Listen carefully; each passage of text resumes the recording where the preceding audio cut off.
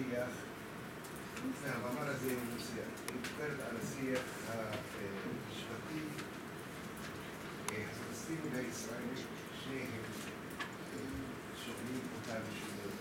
האם הפרדיגמה היא של הכיבוש חלה, או שליטת פילים, או סוג אחר. ולכן השיח האקדמי הפלסטיני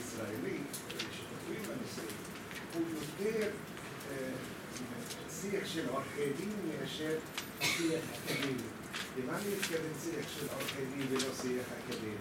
שיח של עורכי דין הוא תמיד נקודתי. הוא מנסה למצוא את הסעיף הרלוונטי לתת מענה לסוגיה הספציפית. שיח אקדמי הוא שואל את השאלה שהתחילה בעבודה. מה היא? היא שואלת מה המצב הזה אומר.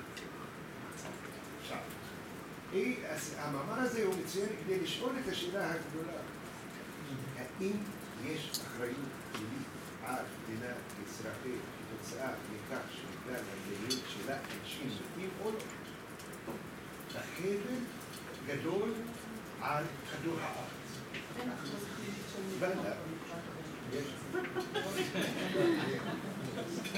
אז אני מדבר כאן על רומסטאט, וכאן אני אני גוזר, האם כאן לא מדובר ביחס אכזרי לאוכלוסייה מסוימת או לא?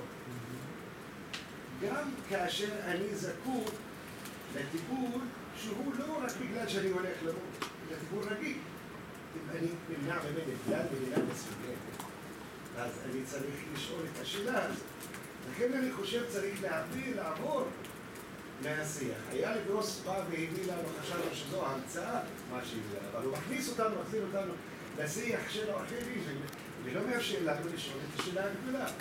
שאלה אחרת באותו הקשר הזה, היא שאלה...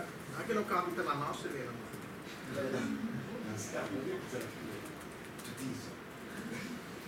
שאלה היא שאלת הגזענות. עכשיו, מדינות זרות אין ביניהן יחס גל, פעם למדינת ישראל אני מכיר, אני סובל, איראן אני סובל, כל האיראנים, מה שרע לאיראן אני אעשה. זו לא גזענות, כי אין יחס משפטי ישיר בין מדינת ישראל לתושבי איראן. הגזענות נמצאת כאשר יש לי יחס משפטי אל אוכלוסייה מסוימת. כלומר, המשפט שלי משפיע על אוכלוסייה מסוימת. עכשיו כאן זה יחס ברור שהוא יחס של כל פרדיגמה של יש יחס משפטי בין תושבי עזה במדינת ישראל. עובדה שבג"ץ שומע עתיד. בית המשפט במצרים לא שומע עתיד. היחס המשפטי הזה מעורר שאלה. זה לא אומר כלום. לא. לא, לא רוצה לשמוע בחירות. לא, אפילו, לא, מעבר. ברור, ברור שזה מעבר לכך. עצם העובדה שהקשר השיחתי הוא אך ורק בגלל ישראל, בגלל ההימנעות שלה, ומדובר לא במדינה. גם מצרים לא נותנת לא, אבל כאן לא מדובר, בג"ץ אפקטיבי. כן, אבל כאן אתה לא מדבר על מצב של מדינה. אם זה מצב מדינה, זה משהו אחר.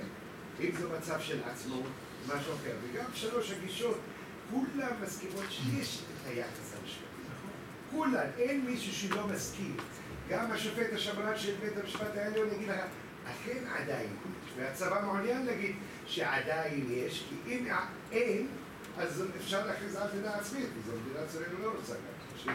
אז לכן שאלת הגזענות מתעוררת. אם שאלת הגזענות מתעוררת בהקשר הזה, היא מתעוררת בתחום הרע ביותר שמכניס אותנו גם לפרדיגמה אחרת, לדבר על פשע נגד אבא לכן, לכן המצב הזה, המאמר שלך הוא מאמר מצוין בגלל שנוגע לזכות החיים. והפריפריה שלו, והוא מאפשר לשאול את השאלות הקשות. אם אני אשאר להסתובב עם דבי קריצ'נר ורג'ה שחאדי ורג'ה שחאדי והיה לגרוס, אני, אני נתקע בשאלה של אה, סנדי היא תישאר רלוונטית. אם זה השיח שלכם עורכי דין, אני שואל מה הסעיף שיש שם. הנושא הוא מעבר.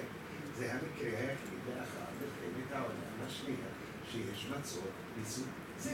אין. אין מצור. אז מה זה אומר לנו מבחינה משפטית?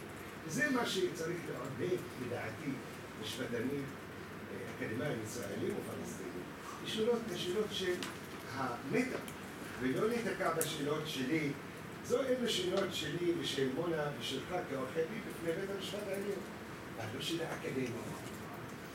ולכן אני ממשיכה מצוין. תודה רבה.